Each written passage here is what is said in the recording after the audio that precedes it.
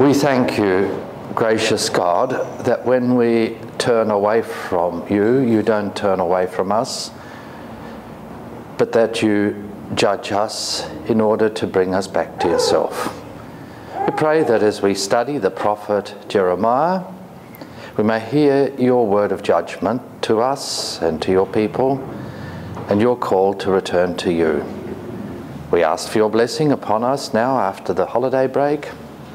Uh, guide us, teach us, inspire us, help us to complete the work that still needs to be done before the end of the trimester. We commend ourselves, this whole community, and particularly Greg and Peter Lockwood as they uh, celebrate the life of their uncle and participate in his funeral today. In Jesus' name. Amen.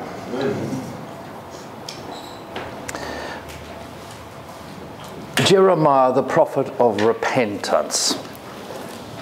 Now, for us, repentance quite often has the idea of feeling sorry.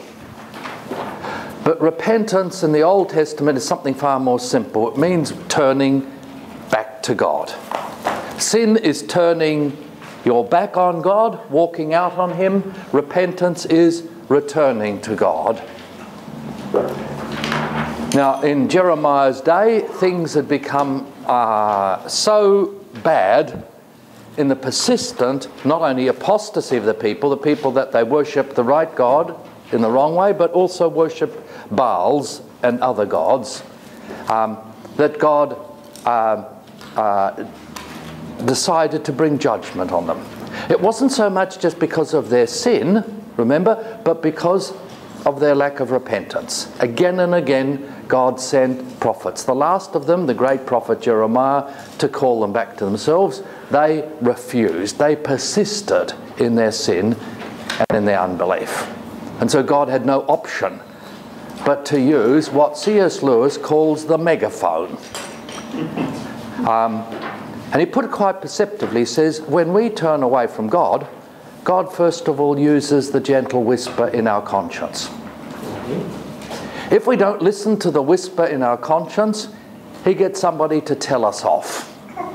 It doesn't come from inside, but it's somebody outside of us, usually somebody close to us. If we don't listen to the voice of God's messenger, and the most clear of that is when somebody who clearly represents him, like a pastor or parent, calls us to repentance. If we don't use, uh, listen to his telling off, then he uses his megaphone. He gives, and his megaphone is events. He lets us suffer the consequences of our action. He doesn't give us the chop because then that would be the end of us. He gives, yes, he uses his stick, if you like, his rod. Um, now, um, uh, one of uh, we had a look at some themes of Jeremiah. If I can just repeat what we did uh, last period uh, about the main themes of Jeremiah. Jeremiah's authority as a prophet, his announcement of God's judgment on Judah and Jerusalem because of their disobedience in breaking God's covenant, breaking the first commandment.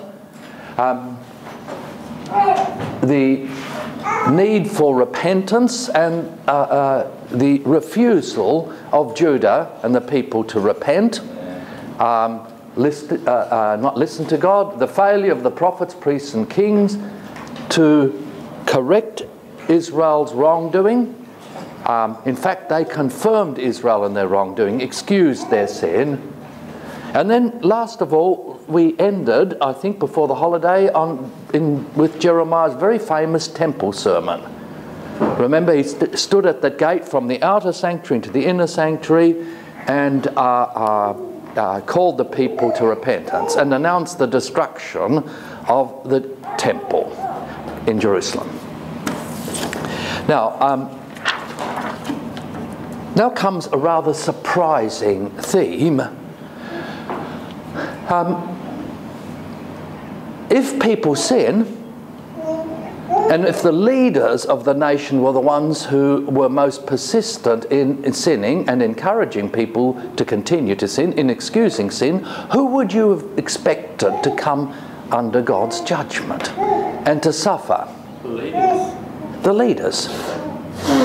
Do you know who it is who suffers most? Jeremiah. Jeremiah. And this is one of the strange features of the book of Jeremiah. You have the so called sufferings of Jeremiah and his laments because he suffers. Now, on the face of it, he suffers because he speaks the word of God. He suffers because he speaks the word of God. People mock him, reject him, turn on him.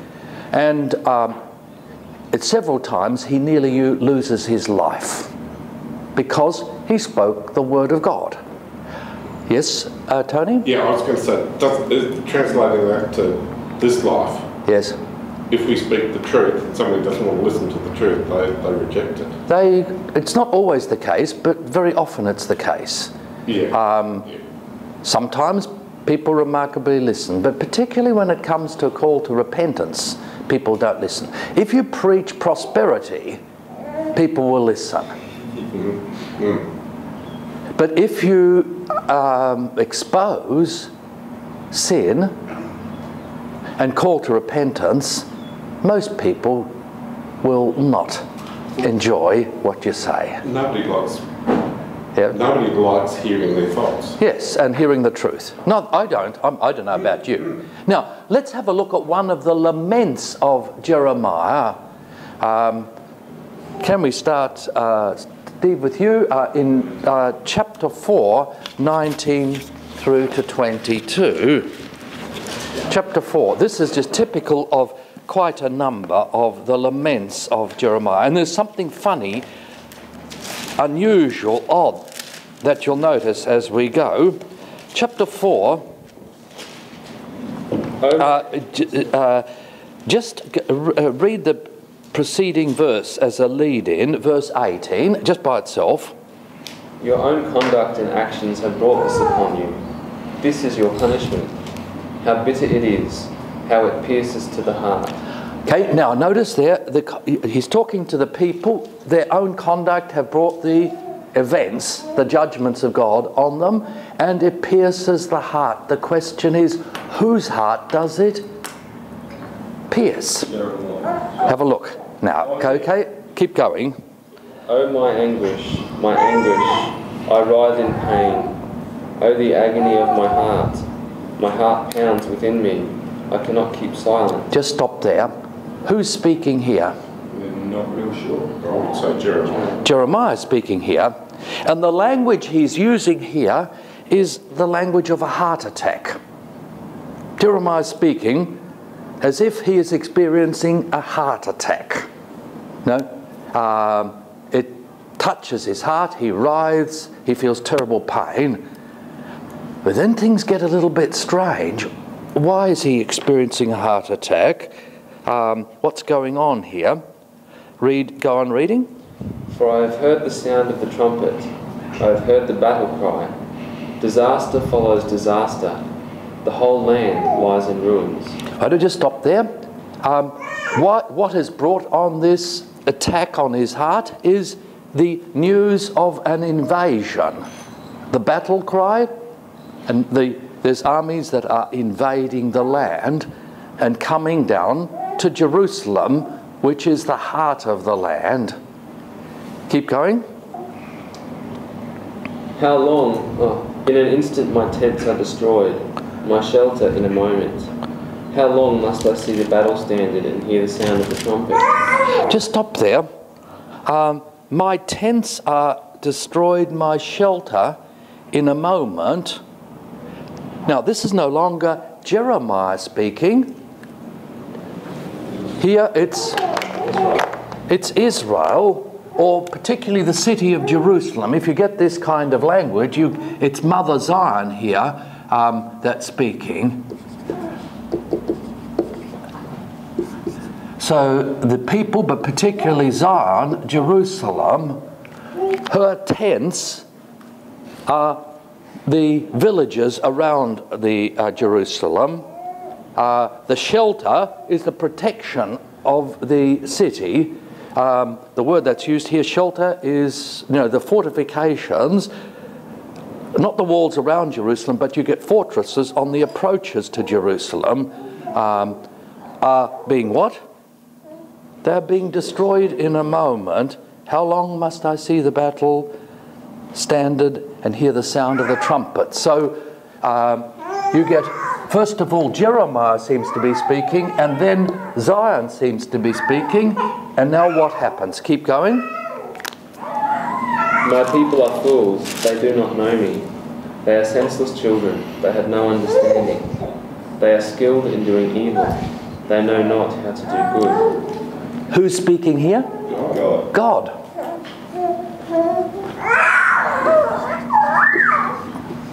So you get an army attacking the heart. It attacks the heart of Jeremiah. In what sense? He has a heart attack. Now, uh, but he himself is experiencing what Jerusalem has experienced because there's an attack on the heart of the nation Zion or Israel. One of these two is here. So is it three fold? Just hold on, just hold on. Yeah. I just want to follow through. So there's attack on Jeremiah, but he is experiencing in himself what the nation is experiencing, what the city is experiencing. And uh, what he and the city is experiencing is what God is experiencing. The invasion is attack on the heart of God. Now, the heart of God is located where? Well, we can say Jerusalem. It is in Jerusalem. Where in Jerusalem? In the temple. In the temple. Remember, God had said that in the temple he would play his, his eyes and his ears and his heart. So, um, uh, Jeremiah experiences the suffering of the people, but so and God's judgment on the people, but God's judgment on the people is God's judgment on himself. Can you see that? So he shares in the sufferings of the people, but he also shares in the sufferings of God. Now there's something strange going on here. Can you see? You have a God who suffers, and the judgment that he brings on his people are something that uh, affects him and affects his heart and brings about his own suffering. Any questions on that? Tony you had some. I just saw it threefold physically, spiritually, yeah, right through. That's, that's all. Well, it's much more concrete than that. Yes, you Yes, could. yes. What's the physical? Yeah. This is the war here. Okay, what's the psychological? Is this, and this is, if you call it the theological dimension. But um, I, I don't think that's all that helpful because they're all so closely interconnected here. Um, now, here once again, you get a theme that we will be touching on again when we come to the prophet uh, Hosea. It's the theme of the suffering of God. We've come across it in Exodus, remember? God suffers with his people and therefore he redeems his people. Um, here again, you see God suffering with his people. Next theme um, Jeremiah doesn't only prophesy God's judgment on Israel and the end of the city of Jerusalem, the end of the temple, but he prophesies that after 70 years there will be a return from exile. Garth, can you go to this very famous passage? Um, Jeremiah 29, 10 to 14. Jeremiah 29, 10 to 14. Garth, read please. This is what the Lord says When so many years are completed for Babylon, I will come to you and fulfill my gracious promise to bring you back to this place. For I know the plans I have for you, declares the Lord plans to prosper you and not to harm you, plans to give you a hope and a future. Then you will call upon me and come and pray to me, and I will listen to you. You will seek me and find me when you seek me with all your heart. Was it till 14 or? Yes. Yep. I will be found by you, declares the Lord, and I will bring you back from captivity. I will gather you from all the nations and place where I have abandoned, where I have banished you, declares the Lord, and bring and bring you back to the place from which I carried you into exile. So God's judgment on Jerusalem and the, as a city would last 70 years. 70 years from between the destruction of the temple, roughly speaking, to the 70 years of the rededication of the temple, the restoration of the city. Yes, um, Dylan? I notice a lot that that verse is used in a personal sense nowadays. Is that actually applicable? I Not mean, really. Not really. No, because it ha- well, it, you could say it has to. You can apply it to the restoration of uh, the church or the Okay, so people of God, um, but only fairly. Yeah, uh, I would be wary of, of doing it too quickly. The return from exile, but not making anything of the seventy years. The seventy years is very specific here Oh, I just meant mainly the I have plans for you to prosper you. to prosper you and not to harm you. Uh, that bit. Plans to give you hope and a. Yeah, um, yes, that can apply. That's generally provided that you don't see the word that goes before it. Um, not just here, but generally in Jeremiah. Which people does God plan to prosper? Israel. Which, not all the Israelites, Those who believe. not even that. The ones who were taken away as exile. The ones that were taken away in exile and the ones who did what when they were in exile? Who repented. So this is a promise, not generally, not a general promise. It's a promise to God's people, the church, if you like, that repents. The promise of God judges always in order to save. Um, yes, uh, He doesn't take any delight in destroying. Now, what we're having is a, everywhere in the church is a truncated theology, and one, you know, uh, half theology. It's not the full theology, counsel of God. And one of the worst of these is, is prosperity teaching. Yeah, yeah. And this is one of the, At the moment. it's huge um, uh, because people want to hear it. Yeah. The one thing that particularly yuppies and uh, baby boomers don't want to hear is God's judgment on sin, and particularly God's judgment on sexual sin. Um, start talking about that, and you'll get very, very unpopular. Right? Actually, I, I disagree. Some of the biggest pastors in America preach law and gospel, proper law and gospel, and their churches flourish. Okay, yes, uh, because but that's uh, uh, because nobody else is doing it. Yeah, yeah. And you get people then with good conscience then who are coming uh, because they're not hearing what they should be hearing in their own churches. Yeah. Um, uh, but uh, yeah, but if you take it as a whole, definitely not the case. So we, as Lutherans, we're doing that as well. I can't judge what's had generally. I don't know what's happening in every parish in the LCA. Um, I suspect that uh, you're getting both things happening. You get a pastors who are very f- faithful, but they're not the ones that are popular, and they're not the ones that whose names get written up in the Lutheran. Uh, righto? the faithful ones, and the best things are happening in little country congregations and in places where um, very often people think nothing's happening there. These congregations are dead. The most lively congregations are the ones that, from a worldly point of view, very often seem to be most dead. Um, shrinking congregations in the country because there's no people left there anymore. And yet, that's where the most remarkable things are happening, as far as I know. But look, I can't judge Yeah. uh, that. All I know is what I've heard and what I experience, and um, uh, what I want to do is to make sure that you, each one of you, is going to be faithful in your ministry, and that you preach both law and gospel, and you preach law correctly. Not as a means of salvation, but you preach what in Lutheran terms is the three uses of the law uh, which you need to get your head around very, very clearly. Um, but you always, always preach law and you distinguish law and gospel. The law never saves anybody. How do you how do you order the three things of law? The three uses of the law. Uh, the first one is the so-called political use of the law, which is the uh, the way God's law works in the order of creation. Why is it that the sun rises every morning? Why is it that we have rain? Why is it that human beings reproduce, that there's life on earth? It's because of God's law that's at work everywhere in the world.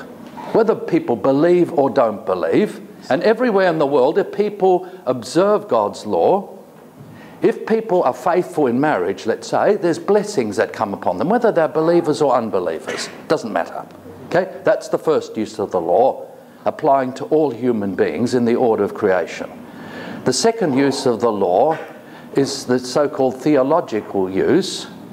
It's the uh, Ten Commandments and the way the Ten Commandments are used to diagnose sin, expose sin, and bring people to repentance. That, if you like, is the uh, uh, so called theological use, the diagnostic use of the law. And then there's the third use of the law, um, which uh, shows us uh, what God's will is and the works that are pleasing to God. Now, we need to distinguish between um, uh, justification of the person.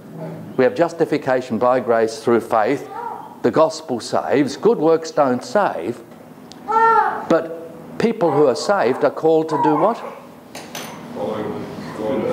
Do good works. And if you do good works, God is pleased with you.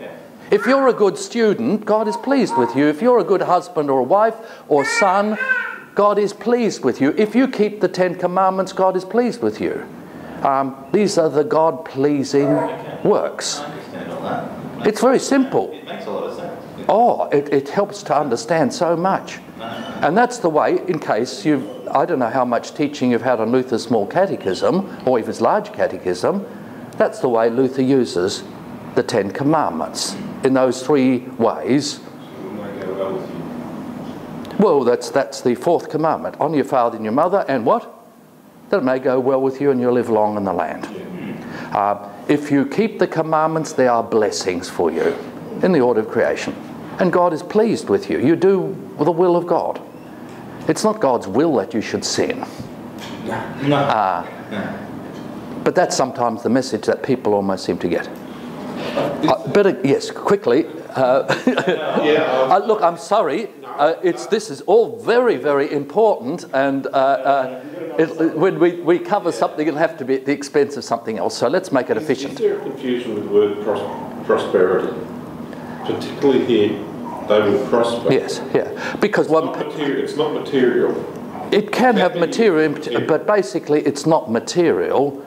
True prosperity is. Yeah, and uh, say now, which who, which which um, uh, couple prospers? Um, a couple that uh, uh, uh, has a good marriage, has children, that are, are, are God fearing, that get married and have grandchildren, and that do the right thing. Um, now, um, none of them may be lawyers and doctors and, and big shots. Uh, the couple has enough to live by, but they're not wealthy. They're generous, and they live a uh, uh, an ordinary life. You get uh, family number two, um, they've got tons of money. Husband and wife are working. There's strains in the marriage because they're both working. Um, they can take big expensive holidays. They can go out to dinner five or six times a week. Their kids have gone to the best schools. They've got the best jobs. Um, so on. From one point of view, you can say which of these two families is prospering. Well, by the world standards, easily number two. Number two, easily.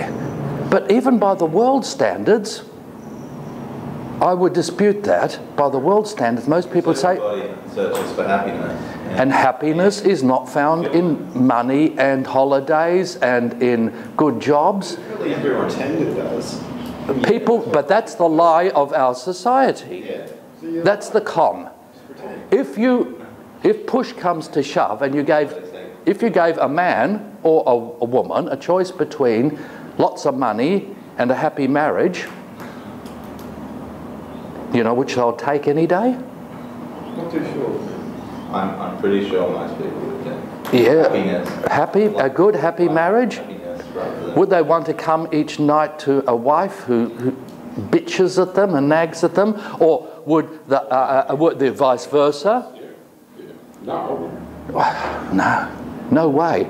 Or kids that go off the rails because they've neglected them, because they haven't had time for them. Kids that are angry with them? Okay. Righto. No. Okay. It's it's definition of Definitely. there is a right kind of prosperity. There's there's there's uh, uh, uh, righteousness. There's God's goodness. God gives us all things to enjoy, and He gives us good gifts in the world to enjoy.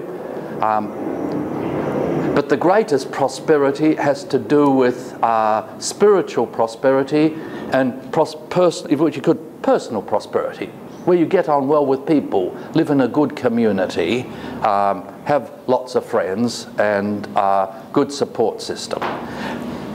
We better go on. Um, now, theme H. Uh, I would have expected now, uh, one of the themes of Jeremiah is that God is going to fulfill his threat in, that comes in the book of Deuteronomy. Um, because the people have broken the covenant, um, they go into exile. Okay? Now, um, if they go into exile, I would have expected God to raise up a second Moses to bring them back from exile That's a good point. right? Just as they were in Egypt, okay, that he'd raise up a second Moses. Now look at what God's promise how about how he will deliver his people from exile back to himself. Can we go to 23 1 through to 8 and I think it's your turn, isn't it, Levi? Levy. the jeans man. 23 1 to 8. Woe to the shepherds who are destroying and scattering the sheep of my pasture, declares the Lord. Therefore, this is what the Lord, the God of Israel, says to the shepherds who tend my people. Just put pause there. The shepherds here is referring to leaders and particularly kings. So the shepherds of the nation, the picture is the nation is the flock and the shepherds are the leaders. The chief shepherd is the king. So it's not as much like priests. It's more It's- kings and. Kings and priests too, but basically no, but but no, but the focus is on political leaders. Okay. Okay, they are the shepherds of the nation. Keep going. Because you have scattered my flock and driven them away, and have not bestowed care on them. I will bestow punishment on you for the evil you have done, declares the Lord. I myself will gather the remnant of my flock out of the country, out of all the countries where I have driven them, and will bring them back to their pasture, where they will be fruitful and increase in number. I will place shepherds over them who will tend them, and they will no longer be afraid or terrified, nor will any be missing, declares the Lord. Pause there. God says to the shepherds, since you have uh, exploited the sheep and scattered the sheep instead of gathering the sheep, I will bring judgment on you. Um, I will attend to you, see to you, and I myself then will shepherd my people. So God becomes the shepherd of his people, and he says that he will estab- put shepherds over them. Now you need to know that the word pastor is also the word is the Latin word for shepherd. That's where I thought this was going. Keep going. The days are coming, declares the Lord, when I will raise up to David a righteous branch, a king who will reign wisely do what is just and right in the land. In his days, Judah will be saved, and Israel will live in safety. Just stop there. So God promises that in the future he will raise up a new king, a new David who will shepherd his people. The kings have failed to shepherd the people, so he will raise up a new David to shepherd his people in righteousness. Um, and they will live safety. Now, look at what's funny about the name that God gives to this king. This is the name by which he will be called, the Lord our righteousness. Just stop there. What's funny about that name? He's called the Lord. Yeah, he's called the Lord. The king is called the Lord. Now, the word in Hebrew is Yahweh. So Is our Yahweh. that's Yahweh there. Yahweh, our righteousness. Uh, Yahweh, it's one word. Yahweh, our righteousness. Um, so the king is called Yahweh. The king is called Lord, and um, he is the one who is righteous, and he is the one who justifies his people, who puts them right with God, gathers them together. Yeah, everyone else who has the name, the God in their name, it's always the Elohim one, and this is, Yahweh? Not, not all of them, but quite often they have to do, uh, they, uh, they don't, are not for, on the Lord, but what the Lord has done. So the Lord has heard my prayer or something, so it's a confession of faith. Um, but here it is uh, the full name Yahweh, and very often what's used then is like Jeremiah. Yah. You get Eli- Elijah, Isaiah. Yah is an abbreviation of Yahweh. Um, so uh, they are usually confessions of faith. So Elijah ja is Eli is my God. Yah is Yahweh. So it's a confession of faith. Yahweh is my God. Um, that's Elijah. Or Isaiah yah means God saves. Uh, and so on. But here, this is a different name because you get the full name, Yahweh, um, which is given to a king. Yes? And it's God talking about the, about him. Yes, it's the name that God gives to this king. Yes, he's talking about him. Yeah. Yeah, righto, this is the name that God gives. It's not human beings giving to a king, but it's the name that God gives to the king. His throne name. Keep going. So then, the days are coming, declares the Lord, when people will no longer say, As surely as the Lord lives, who brought the Israelites out of Egypt, but they will say, As surely as the Lord lives, who brought the descendants of Israel up out of the land of the north, and out of all the countries where he had banished them. Then they will live in their own land. So, so they'll have a new confession of faith. The old confession of faith was Yahweh brought us out of the land of Egypt with Moses. But the new confession of faith will have to do with what this king does to bring them out of their exile. So, a new confession of faith, and that new confession of faith focuses on this king who is Yahweh, our righteousness. Um, as you know, Paul makes a great deal of this, uh, and he says Jesus is the righteousness of God, the holiness of God, the redemption of God.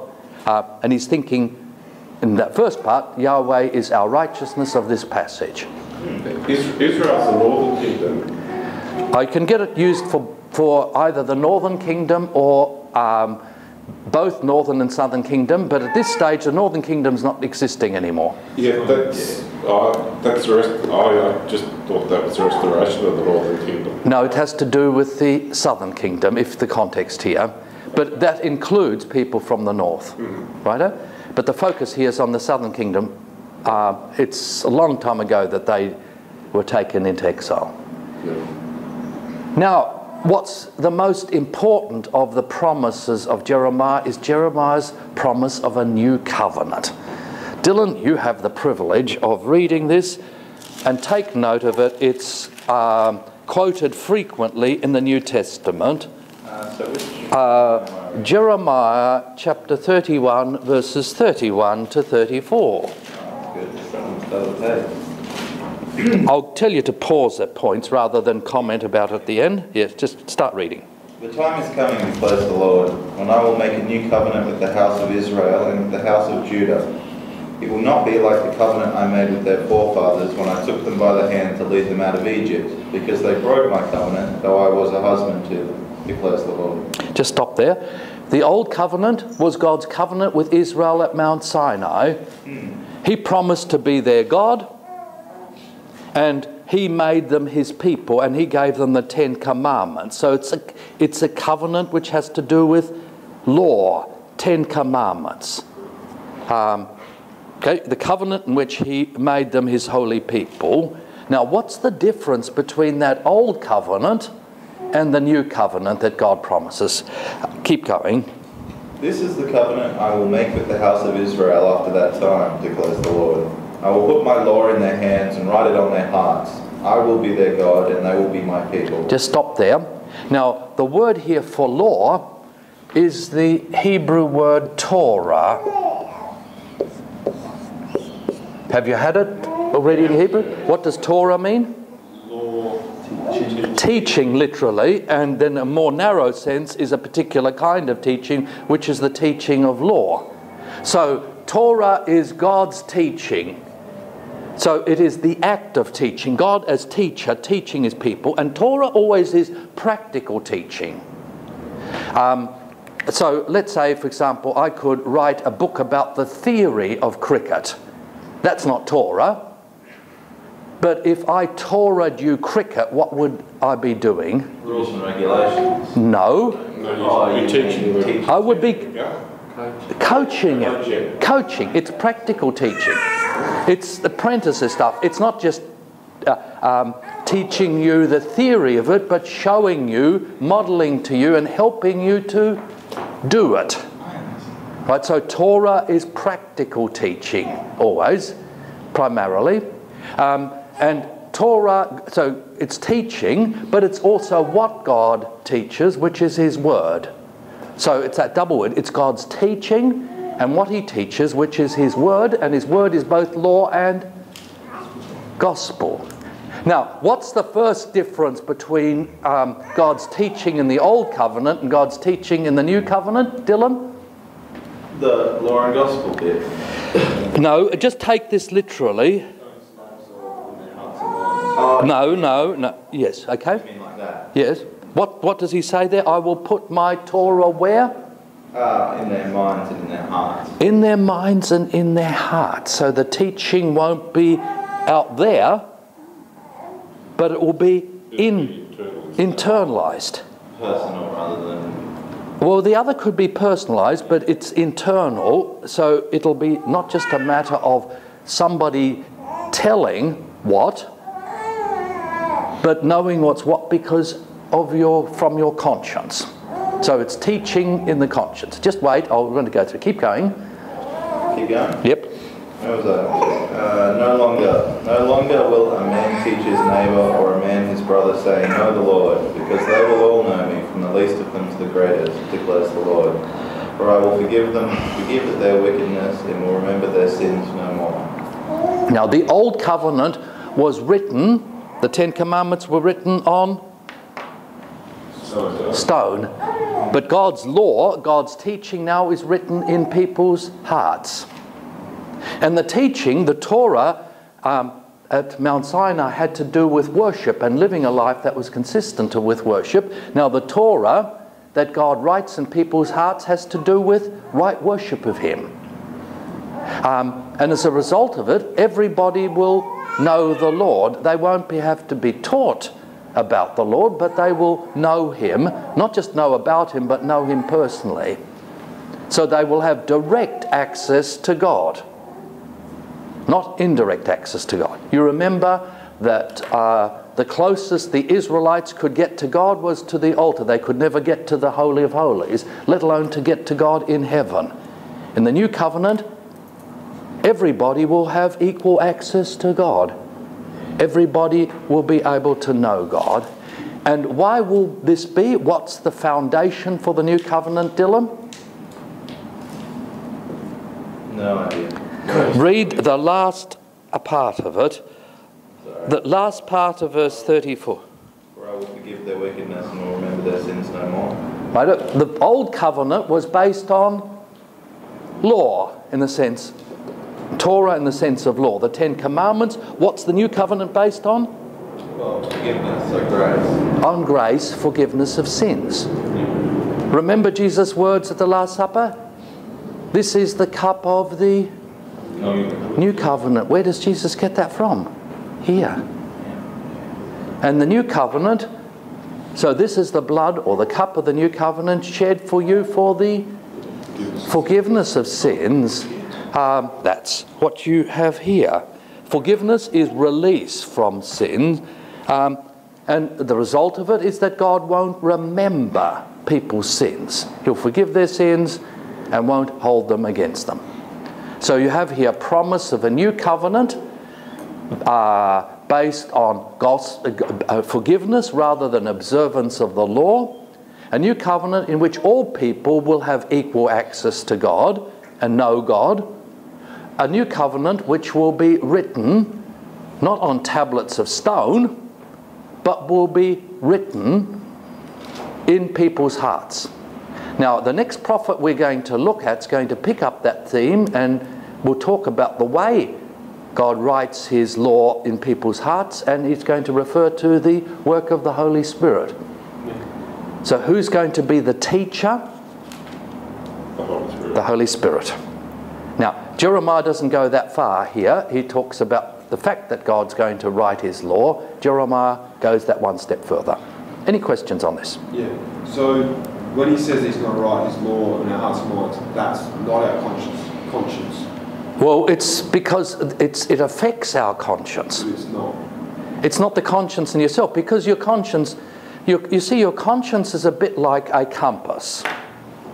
Yeah. Okay? Um, in itself, uh, uh, it's, it's, it, it, it's, it, it needs to have a magnetic pole to determine direction. So so it needs to have a standard outside of itself. Some people can have a, a dodgy compass. You can have a dodgy compass because you are, it's fixed on the wrong magnetic point. So, um, so you can you can get just if I can illustrate. Um, people's conscience are usually formed by what mum or dad says is true or false or right or wrong. That's kids first of all. Yeah. No? Now, if, if uh, uh, that's okay if mum and dad teach what's right and wrong objectively, but it, it can be twisted. Then you get the next stage is instead of your, your conscience being governed by what mum or dad says, it's what You may say. your mates say. And then you get a bit more sophisticated. It's what society says. You internalize political correctness. And if you go further than that, you form your own uh, uh, standards. But your own standards may not be in accord with God's standards. So here you get a conscience that's guided by the Word of God as law and gospel. So God's Torah, as law and gospel, is written in people's hearts um, so that their conscience will be able to work accurately and reveal spiritual realities. I don't know whether you realise, but one of the big problems we have in our society and in our church and all churches is that we don't have a teaching of the Ten Commandments, God's law. And this means that even though people have consciences and have a bad conscience, their conscience doesn't work accurately. They feel guilty about the wrong things and they excuse themselves for the wrong things. And, and they uh, feel quite good conscience about things that they shouldn't have a good conscience. They have neurotic guilt or misplaced guilt. So you get the funny phenomena. Say, for example, you get a bloke who commits adultery, doesn't bother him, but he feels guilty about being wealthy or uh, abusing the environment. Now, which is the what should he be feeling guilty about? The adultery is breaking God's. It's transferred guilt, it's neurotic guilt, it's misplaced guilt. Well, what you said from this, if he's feeling bad about something in his conscience, and that still is a form of sin. Because you said that they're in his hearts and minds and work through the conscience. No, well, what God's going to do is to plant His word as law and gospel Yeah. in people's hearts and minds so that instead of feeling guilty about the wrong things, they will feel guilty about the right things. Right? And so and, and they will be justified, they will have the right kind of good conscience. And that's the You can always- believing thing. Now, have I switched things around? Have I muddled you? No, don't worry. It's all good. Yep. Luke says terrorizes the heart to bring them back to Yeah. God. Yes, because it diagnoses the state of the heart and the spiritual realities. Uh, now, all of us have misplaced guilt. We feel uh, uh, guilty about the wrong things. Uh, you know, and it gets funny kind of phenomena in our society. People have cleanliness manias or all sorts of other neurotic um, symptoms. They feel bad about being dirty Physically. physically. You, you- Yeah. you spoke that last year, and I had the opportunity when I was out pruning of speaking that to another bloke because he said his, his partners continue to clean him. Yes, yes, yes, yes. And I said, well, our lecturer would say something different. Yes. And he asked me what, and I told him, Yes. in, inside it's in that heart stuff Yes. that needs, needs a clean. Yes, that, that's a symptom that some, there's a misplaced guilt here, um, and that uh, there's an uneasy con- uh, conscience about something that probably that woman she's not even aware of. It's hidden, and Satan works by confusing everything. He confuses law and gospel. Um, he makes us. Uh, he excuses us where uh, of things that we should feel guilty about, and he makes us feel guilty about things that we don't have to feel guilty about. Now, that's always his way. He twists everything back to front. Last thing. Yeah. yeah, I don't said too much. And you said right at the beginning, God, how God calls people silently and then to a Through others, Through through a spokesman. yes, and that's how God calls Yes. people to come to, back to Him. Back to him, and also it, it's the way he shapes their conscience, shapes their souls, their, forms their conscience. See, what God's doing, what you haven't been realizing, maybe, is that God's basic work with you, if you look back on it, is sensitizing, shaping, forming your conscience. That's the most decisive thing that's been happening in your life. And it's a lifelong business so that your conscience works properly. Um, and, and you need both law and gospel for your conscience to work properly. Uh, and the whole of your life is uh, uh, th- that happening and being shaped. That's going to be much more important for your formation as past, uh, you know, in pre- preparation for the ministry than anything you learn in class. That shaping, formation of conscience. And to put it the other way around, your basic task as teachers or as preachers is going to be to deliver people a good conscience. A good conscience is what God wants to give to people, not a bad conscience. Much of the preaching in the church at this moment in time is delivers people a bad conscience or just blunts the conscience, called- desensitizes the conscience. What? Is a word for like um, just pretty much ignoring law. Antinomianism is one of the, the attacks, but then you get legalism as the other problem. So you get antinomianism, um, which is a rejection of God's law. The other extreme is legalism. Both of them are equally wrong. Or you get what's called gospel reductionism. What's gospel reductionism? Choosing the gospel. To excuse sin, right? A gospel reductionism is using the gospel not to justify sinners, but to justify sin. I'm a Christian, that means I can sin. I'm free, I can do what. Right, so gospel reductionism. But there's lots of other symptoms too, yes. I'm wondering if repent. Sorry, uh, Yes. I better let you get back on track. I'll ask you in break. No, quickly. okay, uh, I'm wondering how repentance fits into uh, God's way for salvation for Christians if it's just faith, grace. Um, our whole life is a life of repentance as Christians. Repentance is not just something that happens one point in your life. your whole life is a journey back to God. Your whole life is God putting to death the old David, the egocentric, self centered David, and creating a new David in Christ. Um, and what happens every day is uh, God, through His law, exposes your sin. Not just the sins you do, but things, sins which have to do with what you think and what, how you feel, what you desire and what you are, in order to lead you to repentance um, and to lead you to seek forgiveness. Um, have a look at Luther's small catechism, where he says, What does such baptizing with water signify? It signifies that the old Adam us, in, in us should by daily contrition and repentance be drowned and die, and daily a new man, a new person, come forth and arise, who shall live before God in righteousness and purity forever. Remember that Paul says that baptism is that we are put to death with Christ in order to be raised with Christ. Righto, oh, then, but this is a daily bap- outworking of baptism. We are daily put to death. Sorry? Dying to live, that's Zenkbal.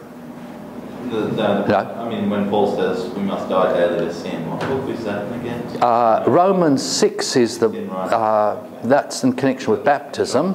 So if, so if someone was excusing sin because they've got the gospel and they're saying Yes. I'm a Christian still, we pull out Second Yes. John, Second John or something. Uh, Yes? yeah, okay. Um, or First John says, you know, that First John says, look, it's impossible um, if uh, uh, no, so anybody who's born again can't sin, shouldn't sin. Uh, you can't excuse sin. All sin is lawless. All law, sin is lawlessness, and uh, you can't excuse sin. But in the same hand, if anyone sins, we have an advocate uh, before the Father, Jesus Christ the righteous. So always, unless you have, and can I, this is the last thing I want to say about formation of conscience, unless you correctly divide law and gospel and use law and gospel, you will never be able to give people a good conscience. The only thing that delivers a good conscience is the right use of both law and gospel uh, in our Christian life. Um, let's have a look at the last passage and then the um, uh, final uh, summing up of Jeremiah. Okay, um, Josh, can you read Jeremiah 3 15 to 18? Remember that Jeremiah prophesies the destruction of the temple and destruction of the city of Jerusalem. Please. I will give you shepherds after my own heart, who will feed you with knowledge and understanding. And when you have multiplied and increased in the land, in those days, says the Lord, they shall no longer say, The ark of the covenant of the Lord. It shall not come to mind or be remembered or missed, nor shall another one be made. At that time Jerusalem shall be called the throne of the Lord, and all nations shall gather to it, to the presence of the Lord in Jerusalem. And they shall no longer stubbornly follow their own evil will. That'll. Um, Jeremiah here prophesies a time in the future when there will no longer be any Ark of the Covenant. Remember, the Ark of the Covenant was the place that, the container that had God's law in it. And it was the throne of God located in the Holy of Holies, the temple. Um, why will there no longer be any Ark of the Covenant? Well, the whole city of Jerusalem will be the new temple. And there'll be no Ark of the Covenant because the whole throne, uh, the whole city will be the throne of God, the place where God's enthroned, the place where God rules. And he rules then, if you take the other prophecy, in the hearts and minds of people. Um, that's the promise.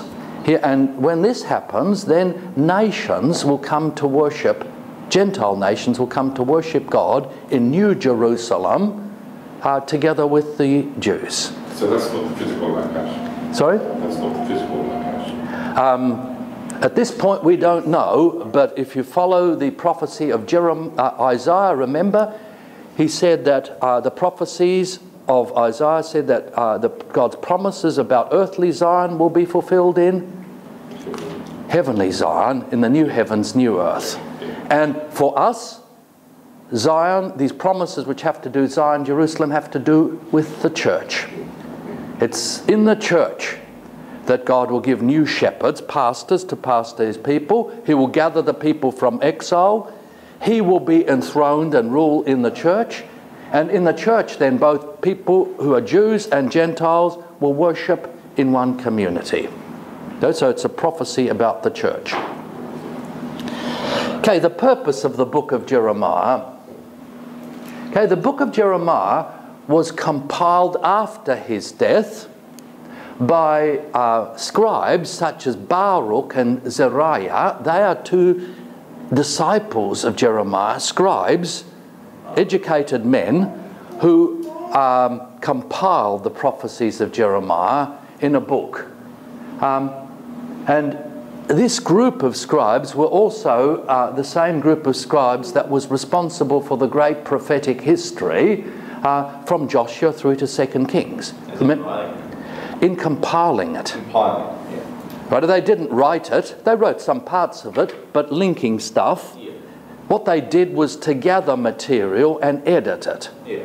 So um, these people edited the prophecies of Jeremiah and they edited for people in what situation? It was people in exile. And it had two purposes for people in exile. Number one, it showed people who were under God's judgment why God had rejected his people and allowed them to be taken into exile. Number one. And then, secondly, to call God's people to repentance and to encourage them to hope in God for the restoration of the city of Jerusalem. So 70 years they had to wait for the restoration. But there's a promise of restoration, so you get both law and gospel. The most important thing is that the final version of Jeremiah is not spoken to people before the exile, but to spoken to people in exile. Lastly, um, the book of Jeremiah calls the church at all times and all places to repentance and to hope in God for forgiveness. So, repentance, law, forgiveness, gospel. So, it's a great book of law and gospel. Let's have a break.